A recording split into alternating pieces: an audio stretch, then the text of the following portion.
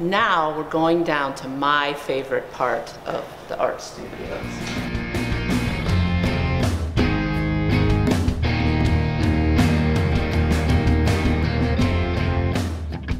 So here is our ceramics and sculpture studio.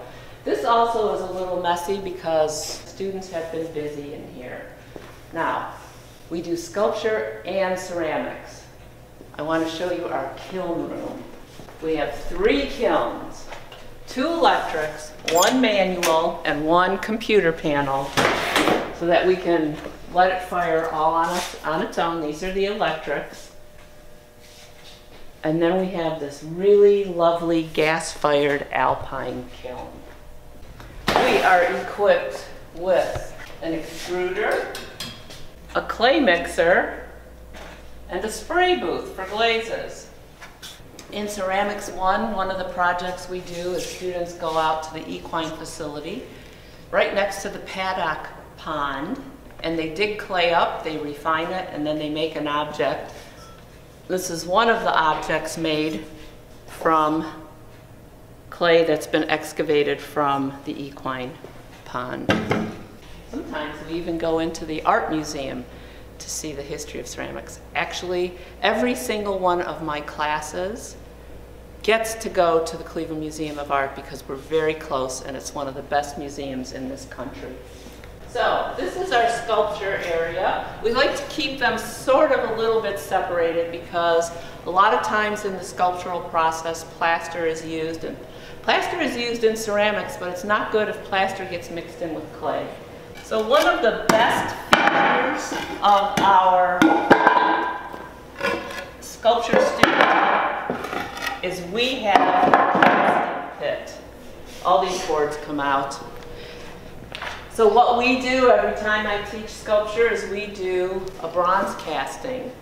And uh, I have a friend who works in a studio foundry, and he has devised a way to um, do portable bronze melting. What he does is he takes a really large weed burner, one like this, this is about 200,000 BTUs that'll come out of here, propane fueled. And he'll have a crucible. He will heat the crucible up. Students can see the bronze melting.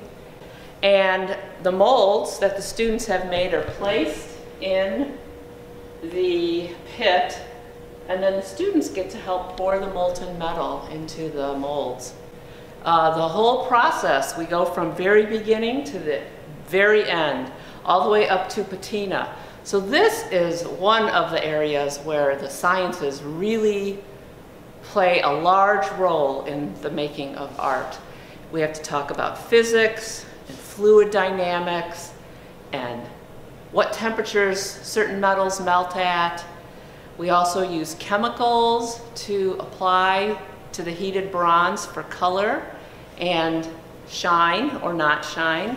Uh, this coming semester, we're going to do rock carving with the curator of mineralogy at the Cleveland Museum of Natural History. Um, you'll see lots of objects laying around on the table. These are, some of them are mine from my own art practice. Some of them is our student work. Uh, right here we have the raku kiln, which we use for ceramics. We also do a raku firing. Um, and it's kind of fun because we roast weenies and marshmallows during the firing. So we are fully equipped to do everything ceramic and sculptural in this studio, even welding. You can see we have the welding curtain over here.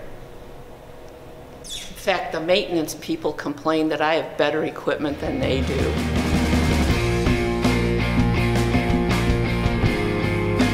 These are little crucibles that the students in Ceramics 2 make. They put chemicals in these little crucibles and fire them at our stoneware temperature to see what these chemicals will do in the heat. Students find out about eutectics and other chemical physics related um, issues while they're doing this. Here on this board are all the instructions on how to make a mold for your bronze casting object. So I teach art history as well here. So the great part about that is I do know a lot of art processes. A lot of art historians don't have an idea of what the processes are. So I can explain those, I can show them, and if I'm teaching sculpture and art history at, during the same semester, the art history students come in to observe the process. This room is our sort of all-purpose studio room. Uh, a lot of what goes on here is the 2D design, the 3D design, and the intro to art. Our intro to art is not just theory, criticism, and art history. It is also hands-on practice. So you do drawing, you do painting, you do ceramics, sometimes you do printmaking. We do a lot of different processes. Just to give you a sort of well-rounded idea of what it's like to be an artist.